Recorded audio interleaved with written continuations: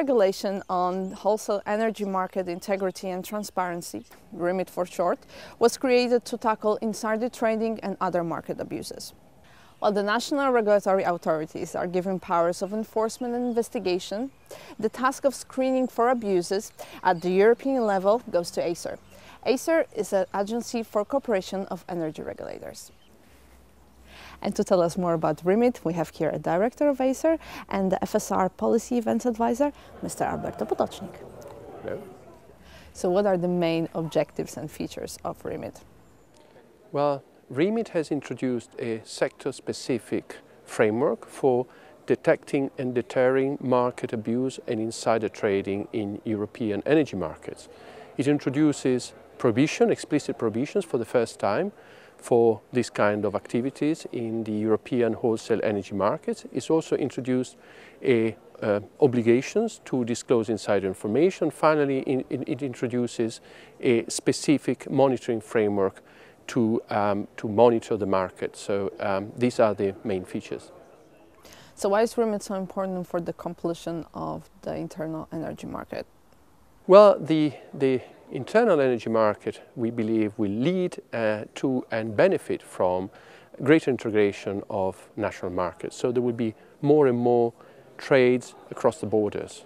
So the market will become more complex for the benefit uh, of all consumers, uh, greater efficiency in the market, but also more complex transactions. So we need a more robust, a more effective framework for monitoring the market to make sure that this market functions well.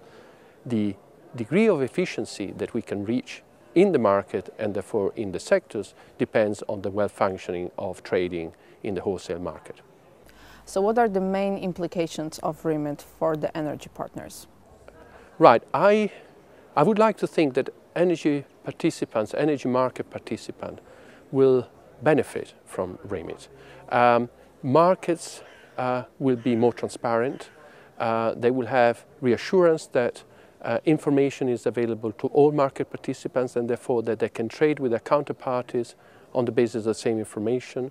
And what we are trying to do is make sure that the implementation, the introduction of REMIT does not uh, impose excessive burden on them. We are very careful, for example, to avoid double reporting. We are trying to take advantage of as much as possible of existing reporting channels uh, through trading venues, through power exchanges, gas hubs, etc. Um, so we're trying to deliver as much benefit as possible to market participants at least possible costs. But when we think about the consumers, what will be the implications of REMIT for them?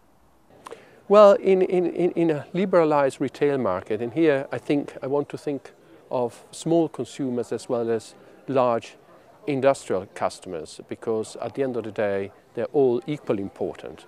Um, well, with the liberalization of the retail markets, uh, we will hope that retail prices will reflect more and more prices in the wholesale market. And therefore, I think it is essential for final consumers to have confidence that the prices at retail but also at wholesale level reflect the market fundamentals.